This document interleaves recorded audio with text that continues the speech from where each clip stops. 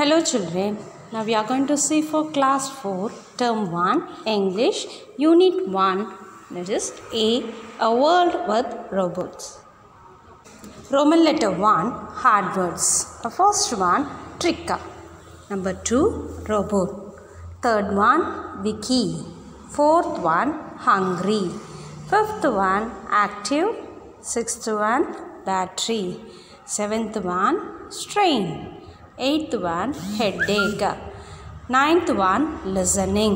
Tenth one believe. Roman letter 2 meanings. First one plead. Answer request. Second one refuse. Answer is disagree or reject. Third one pleasant. Answer is happy. Roman letter 3 give opposites. The first one active. Answer is dull. So second one clean. Opposite for clean is dirt. Third one front. Answer back. Fourth one new old. Fifth one useful useless. Sixth one less more. Fourth Roman letter write past tense. First one sell sold. Second one try tried. Third one buy bought. Fourth one keep kept. Roman letter 5 answer the following. Question number 1 What kind of a boy was Vicky?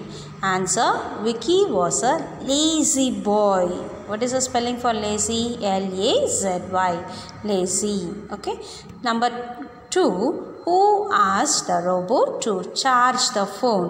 Who asked it? Answer uh, Vicky asked the robot to charge the phone. Question number 3 Whom did Vicky want to do all his work? Answer Vicky wanted robot to do all his work. Question number 4 How do Vicky change at the end?